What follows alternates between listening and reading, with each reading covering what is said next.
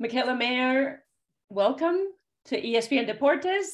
And we're happy hi. to, hi, we're happy to be with you now that you'll be facing Jennifer Han um, on Top Rank Boxing on ESPN, ESPN Deportes, and ESPN Plus on mm-hmm. April 9th. Um, tell us a little bit how you feel coming into your first fight since unifying the IBF and WBO junior lightweight belts.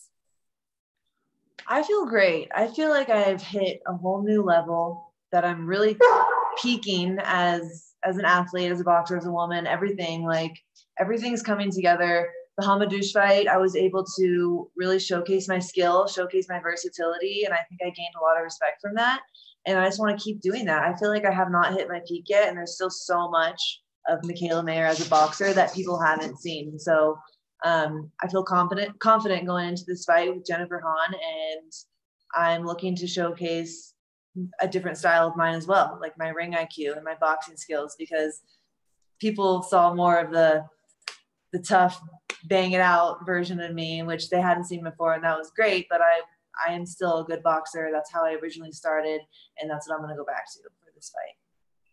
And speaking of something different, so you had to go inside to face Hamadouche. You had to adapt, sort of, and do something different. You've been studying Jennifer Han, um, and she has been changing a little bit because she she had a baby. She had to move up in weight, um, and now she's coming down a class to be at the junior lightweight, but it's a little bit more natural for her. What what are you expecting in facing Jennifer Han?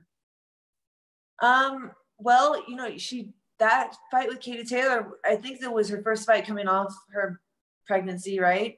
Um, and so I expect her to be a little sharper coming into this fight. You know, she she shook it off a little bit. She still went 10 rounds with, you know, the number one pound for pound right now. Um, gave her a tough fight. It I don't think it was super easy for Katie. It was tricky in moments. And so I expect her to be a bit sharper coming into this fight against me. Um, but you know, we've we've studied her. We have a game plan. We have a game plan A, game plan B, and a game plan C. We always do. And yeah, I I expect the best version of Jennifer Han. We are not underestimating her at all.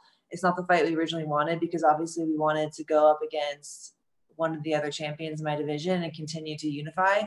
Um, but we couldn't get that fight. You know, they, they didn't want the fight. So I I'm excited for the challenge and Jennifer Han. She just fought Katie Taylor, and I think that not looking past Jennifer, but that could get people maybe excited about potential fight between me and Katie in the future, and give something to, for them to compare us with. Give them a fight that they can compare us and see where we are level wise. What's your prediction? Speaking of Katie Taylor for Amanda Serrano and Katie Taylor at the end of April, that mega fight that's coming up.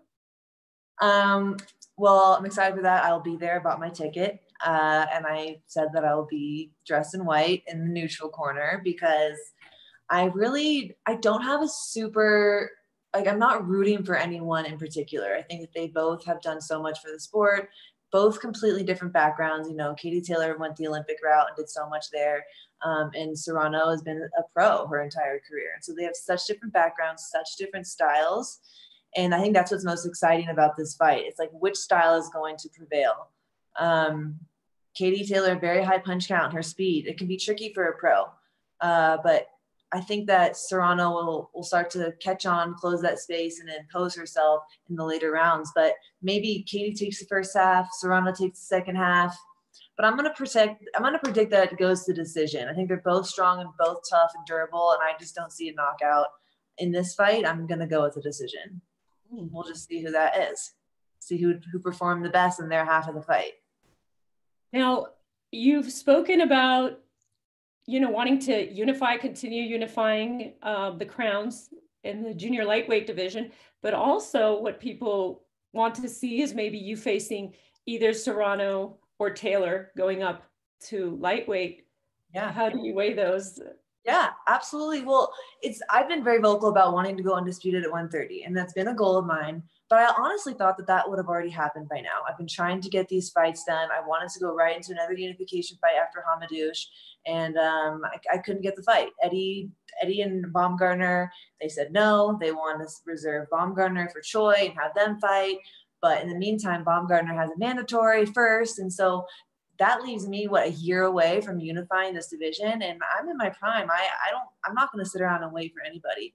I'm also tall and strong and big for 130 and i can go up to 135 i can go up to 140 there's a lot of top girls there for me and big fights there for me. So i'm going to look in that direction too. I'm going to take the biggest fights i possibly can and taking the winner of serrano versus taylor would be a dream that would be ideal for me they're at the top of the pound for pound list. I'm climbing my way to the top of the pound for pound list. And I think that that'd be a great fight for women's boxing. And I would, I would love that. And I'll take it. If that gets offered to me, I'll, as much as I wanted to go undisputed at 130, like I'm not going to sit around and wait. I'm going to take what comes. And so I'll give that up to go up to 135. Excuse me, Michele, uh, Michele, excuse me. Uh, Mikaela, can you move your, uh, your phone a little bit up because your head is cutting up? Oh, I was going to say it would be a dream for the fans of boxing as well when you sorry for interrupting but uh, no, okay, thank you. Sorry. Yeah we don't want her to be cut off. We have a few more questions for you. Yeah, much much better. Okay go ahead. Um so april 9th will be your second fight headlining. Um, and then amanda serrano and katie taylor um, close up april headlining at madison square garden Claressa Shields, she had a pay per view in 2021. How do you see the growth in women's boxing, where it is and where it's headed? It's grown so much. Um, you know, when I first came out of the Olympics, there still wasn't a market for women's boxing. That was four years ago, you know, five years ago, but that was not that long ago. And since then, look how many women. I mean, Matchroom has so many women. They're doing great over there. The UK women's boxing is thriving in the UK. Um, it's a little trickier of a market here in the United States. I'm one of the few to have a platform here, so I'm just doing the best I can to grow women's sports while I do have what grow women's boxing while I do have that platform. That's always been really important to me. Um, you know so it but there are so many big fights now. There's so many big rivalries which is so fun for the fans. And that's really i think what women's boxing has been needing. And there's no way it's ever going to disappear like it did after Laila Ali days and you know um, uh,